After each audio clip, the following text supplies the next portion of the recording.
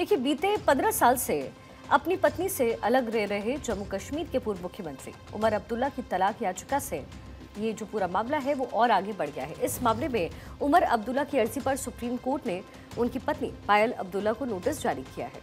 दरअसल, तलाक मामले में उमर अब्दुल्ला ने दिल्ली हाईकोर्ट के फैसले को सुप्रीम कोर्ट में चुनौती दी। असल में क्रूरता के आधार पर अलग रह रही पत्नी पायल अब्दुल्ला से तलाक मांगने वाली उमर की याचिका को दिल्ली हाईकोर्ट ने खारिज कर दिया था। हाईकोर्ट ने 2016 के फैसले को उमर अब्दुल्ला ने चुनौती दी थी। पारिवारिक अदालत ने तलाक से जुड़ी उनकी याचिका खारिज कर दी। हाईकोर्ट ने अपने फैसले में कहा कि उसे पारिवारिक अदालत के आदेश में कोई खामी नहीं मिली।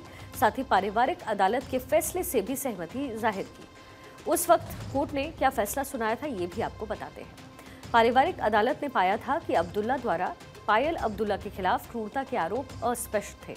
पीठ ने कहा कि पायल अब्दुल्ला शारीरिक और मानसिक क्रूरता के किसी भी कृत्य को साबित करने में नाकाम रहे। उमर अब्दुल्ला और पायल अब्दुल्ला की 1 सितंबर उन्नीस सौ चौरानबे को शादी हुई। लेकिन आपसी विवाद के चलते वो 2009 से अलग रह रहे थे और उनके दो बेटे हैं। उमर अब्दुल्ला की तरफ़ से पेश हुए वकील कपिल सिब्बल ने अदालत को बताया कि दंपति की शादी खत्म हो चुकी है क्योंकि वो पिछले पंद्रह सालों से अलग अलग रह रहे हैं।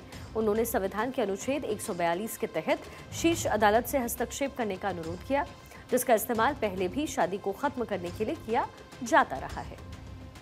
रिपोर्ट्स की माने तो उमर अब्दुल्ला ने अपनी अर्जी में पायल से तलाक की मांग की है। उमर की ओर से सुप्रीम कोर्ट में पेश वरिष्ठ वकील कपिल सिब्बल ने कोर्ट को बताया कि बीते पंद्रह सालों से ये जो शादी है, वो मृत प्राय हो चुकी है। सिब्बल की दलीलें सुनने के बाद जस्टिस सुधांशु धुलिया और जस्टिस अशानुद्दीन अमानुल्ला ने और उनकी पीठ ने पायल को नोटिस जारी किया। इससे पहले 2023 में जस्टिस संजीव सचदेवा और विकास महाजन की पीठ ने 2016 के पारिवारिक न्यायालय के आदेश को बरकरार रखा था। अब्दुल्ला ने पत्नी से अलग होने के लिए 30 अगस्त 2016 को पारिवारिक अदालत में अर्जी लगाई थी। अदालत ने सबूतों का अभाव बताते हुए इस अर्जी को खारिज किया। पारिवारिक अदालत में अर्जी खारिज होने के बाद नेशनल कॉन्फ्रेंस के नेता ने दिल्ली हाईकोर्ट का दरवाज़ा खटखटाया।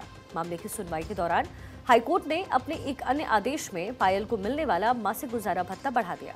जस्टिस सुब्रमण्यम प्रसाद ने पायल को एक लाख पचास हज़ार रुपये महीने और उनके दोनों बच्चों को साठ साठ हज़ार रुपये का गुजारा भत्ता देने का आदेश दिया।